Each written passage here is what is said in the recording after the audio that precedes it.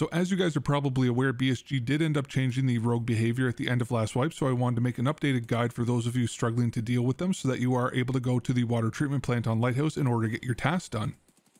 So with this method that I'm going to show you guys, you can use any weapons and ammo that you are comfortable with or that you do have available to you in your stash, and that does include CQB weapons with just a holo or red dot. Because of how the rogues do end up pushing you now, then you will actually be engaging with them mostly within 20 meters. And if some of the rogues end up getting bugged up on top of the rooftops, as they will sometimes now, then you can always just grab one of the rogue AK-104s that do have a Valday on it, and then you can deal with them after clearing out the other rogues. Now I did want to make this guide as user-friendly as possible so that even if you only have the level 1 traders or you are hurting for money, then you can still be able to go and clear this area by using this method. However, obviously this will not be foolproof and it will still be challenging and you probably will end up still dying a few times getting used to it, whether that be from the game screwing you over with the rogues facing through doors or just other general BS bugs. But for me at least, it has been the most effective way that I have found to clear this area since they did change the rogue behavior. So as mentioned, I am going to go into this raid with a weapon from a level 1 trader being the AKS-74UN from Prapor for 35k rubles.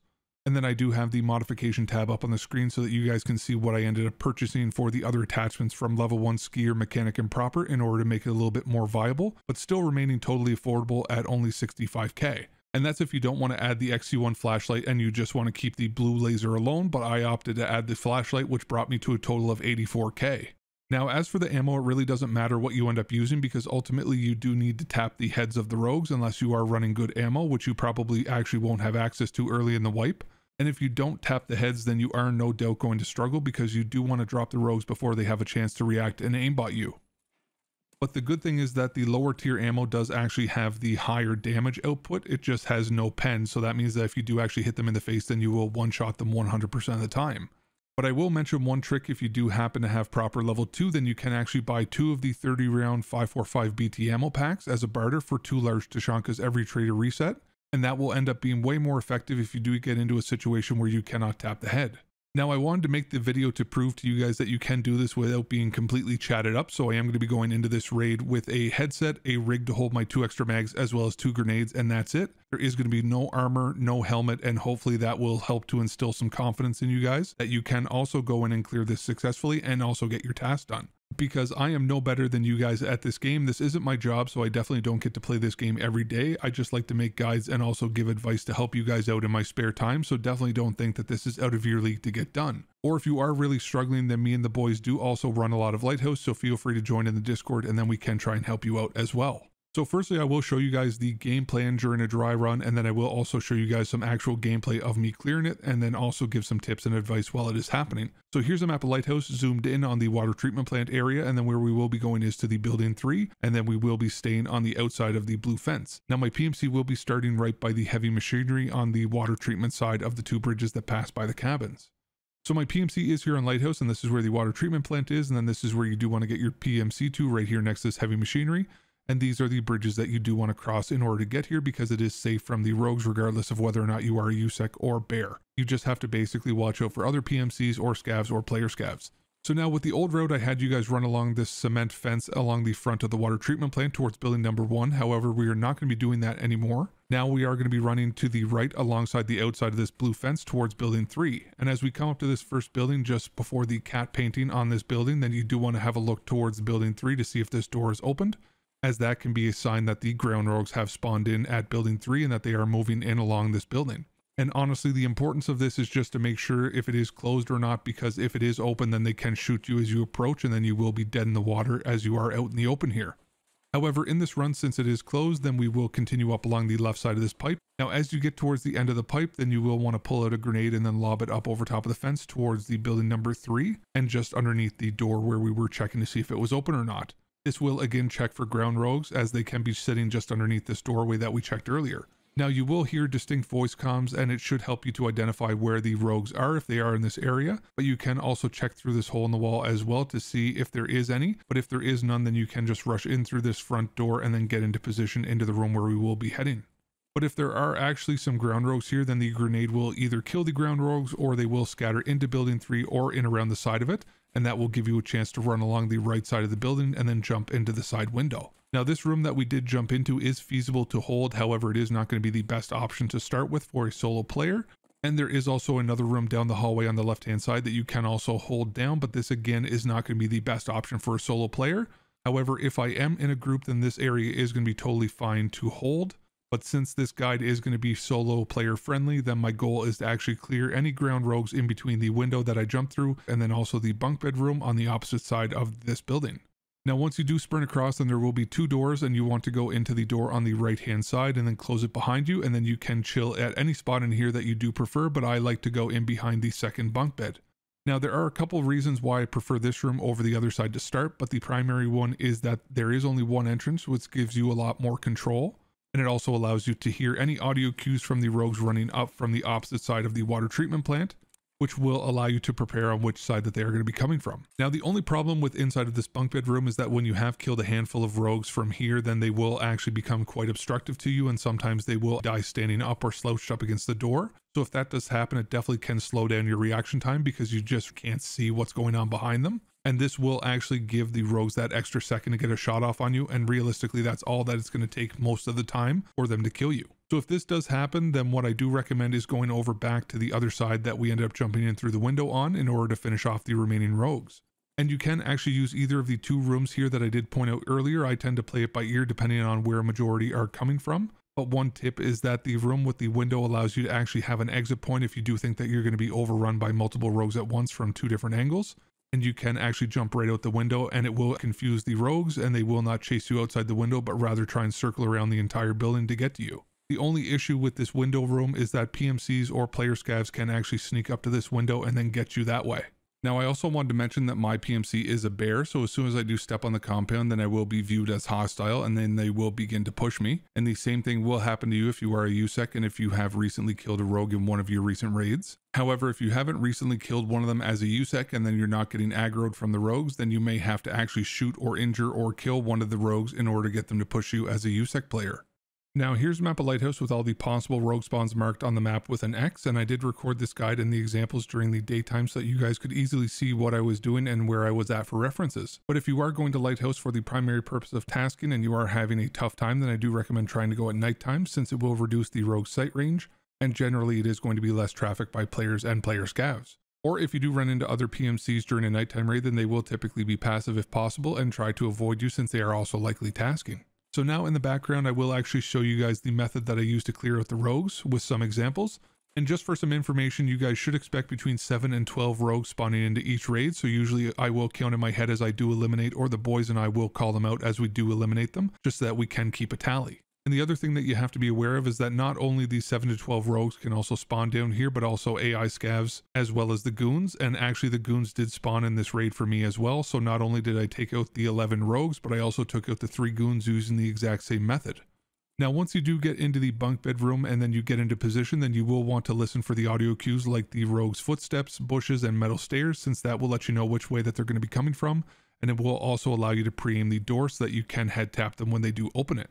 Now, another benefit to the bunk bedroom is that the rogues will all basically enter in from the same area on the right hand side of the door because for some reason, if they are coming from that left side, then they will close the door just to reopen it from the right side rather than swinging around the forklift and then trying to left hand swing you. Now, the nice thing about this is that when they are closing the door and then moving across the door, then you can actually sometimes head tap them through the door. And then the other benefit of trying to head tap them through the door when they are moving from left to right is that now instead of guessing where their head level is going to be, you will now know exactly where the rogue's head is going to be. So as soon as you see them go to open up the door, then you can actually be lined up perfectly. And then it should be basically an easy tap every time. And that should be the case unless, as I mentioned earlier, the bodies do pile up in front of you. Now, as mentioned earlier, if the bodies do pile up in front of you, then basically you want to listen for a gap in the audio cues and the rogues pushing you for you to be able to safely move over to the other side and get into position. Now, as mentioned earlier, also you want to be aware of the rogues phasing through the door and then blasting you. So usually if they are right on my tail, then I will not try and shut the door. Instead, I will just leave it open and then pre-fire a little bit since in my testing, closing the door on the rogues is actually what makes them phase through it. And actually makes it way worse when they hit that door in the time frame right before it actually closes then they will basically phase through it. They can see you perfectly but you can't really see them.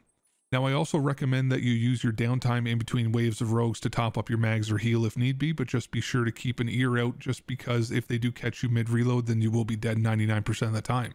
Realistically, if they catch you mid reload, then the only thing that you will be able to do is try and run at them in order to push their gun to the side by barrel stuffing them. But it definitely does not seem to work as effective on AI as it does on players. So, like I said, 99% of the time that you will be dead. Now, unfortunately, one thing to be aware of is that the player scav armies will be coming to hoard you once they do load in. Basically, every player scav typically always comes to the water treatment plant, and realistically, because their playstyle is going to be unpredictable, then the best advice that I have for you is to try to let them not know that you're there and hope that the greed gets the best of them, and then you can kill them as they're going to be deep in a pile of rogue bodies trying to loot. Now, as mentioned earlier, I went into the raid with no armor or helmet and basically a CQB gun. Now, this is not really concerning because if you do successfully hold this bunk bed room and clear the rogues, then you will be able to grab either an armored tac rig or regular armor, as well as a backpack, and also a helmet from the rogues, and it will basically be untouched because you're just going to be tapping faces mostly. And usually you will also have a rogue that has an AK-104 with a Valday scope with PS ammo for you to pick up and also to use to scout the rooftops of building number one or two just in case some rogues have bugged out on the roofs and they won't push you. Now, one of the most problematic things of the whole water treatment plant is these bugged rogues that are going to be up on top of the rooftops because they are absolutely broken. So you definitely have to watch out when fighting them because they have an absolute fire hose of death and laser aim. So to check on top of building number one from building three, then I actually recommend going up to the second floor. And then inside of this side room, there is going to be a cot that you can jump up onto. And then you can lean peek over top of this metal barrier to have some cover. And then you can see if there are any rogues that are going to be up on top of building number one. If they are there, then you can try and take them out with the PS ammo and the AK-104. But just remember that you definitely want to be careful and you don't want to stay lean peeking for too long because they will laser you from there. Now, while running Lighthouse this wipe and also while testing for this video, then I definitely noticed that if you do go into the bunk bedroom that the rooftop rogues will end up bugging out a lot less. So there may actually be an anchor point that you do hit when crossing over to that room that will prevent the rooftop rogues from being bugged. So just be aware that if you or your squad do end up staying on the window side of building number three, that you may end up having to deal with these rooftop rogues being bugged more frequently. Now for building two, then I will usually jump out the back window that we started this whole process from and then take a left and go towards the end of building number three. And then we are going to be slowly peeking towards building number two, looking up towards the machine gun. And then if that's clear, then you want to continue to slowly peek towards the metal stairs to see if there is any bugged rogues up there. Now, as for building number three, then you will know if there is a bugged rogue up on top because you will hear the continuous running on metal as you are clearing the rest of the rogues. And then another trick that you can do is to use your grenades or flashbangs to clear the roofs of the buildings as you do move up close to them because if you do throw a grenade up to the rooftop then you will get a voice com from a rogue if they are up there. Now after doing all of this then you should be clear from the danger of the rogues and you can just run about the water treatment plant and get your tasks done but just be aware that AI and player scavs as well as other PMCs can be creeping in around here and trying to do the same thing. And if you do happen to run into another rogue that is bugged at some point or a ground rogue or something that just didn't push you like they should have, then basically just try to play your cover and then use your right angle peeks. And sometimes if other PMCs are also trying to push the water treatment plant from the building number one side, so the opposite side of the water treatment plant, then you can have the rogues actually split in two. So half of them will try to take on them and then half will try and take on you. So it will seem like you have less rogues than normal, but usually what will happen is that water treatment plant is a little bit more difficult to push from that side. So typically they will end up killing those PMCs and then they will just end up pushing over to you later on in the raid. Or if they do happen to kill all the rogues over on that side, then you will just end up probably running into them towards building number two or in the middle of the water treatment plant. So just be aware of that. And just let you guys know, if you do want to practice or attempt this method in an offline raid, then you can do that. But in order to spawn the rogues, then you do have to select the enable bosses button since apparently they are considered bosses. But that can also mean that the goons will have a 50% chance of being at the water treatment plant since they do have a spawn here and also one up at the Blue Chalet. So they will be at one or the other location. And to be honest, I actually find that offline raids are harder to clear the water treatment plant since you will have 11 to 17 different rogue spawns in an offline raid plus also the goons. Whereas in an online raid, usually it will only be between 7 and 11, but you do also have the risk of other PMCs and also player scavs. So hopefully you guys found this guide useful in learning how to deal with the new rogue behavior in patch 14. I hope that it will help you guys to clear the water treatment plant, that you can go ahead and finish all of your different tasks on Lighthouse. If you guys have any suggestions or comments or advice, then definitely leave them down in the comment section as it may help somebody else who is reading them and it may touch on something that I wasn't able to speak about in this guide. Thank you guys so much for stopping by and watching this video and I hope that you have a fantastic rest of your day. So what you're seeing on the screen right now is just a couple of my different social links in case you guys wanted to connect more easily. I am primarily streaming on Twitch now multiple nights a week. So if you do want to connect with me or my community, that would probably be the easiest way to do so. And if you do come over to the Twitch and you want to join the Discord community, then just type exclamation point Discord or Cord in the chat in order to get an invite link. And if you don't use Twitch, then I do have a link in the picture as well as a link below in the description. And we are growing and currently have an active and welcoming community with people of all experience and skill levels. So there will always be someone who could help to answer any questions that you may have. As always, thank you guys so much for stopping by and watching the video. And I hope that you have a fantastic rest of your day.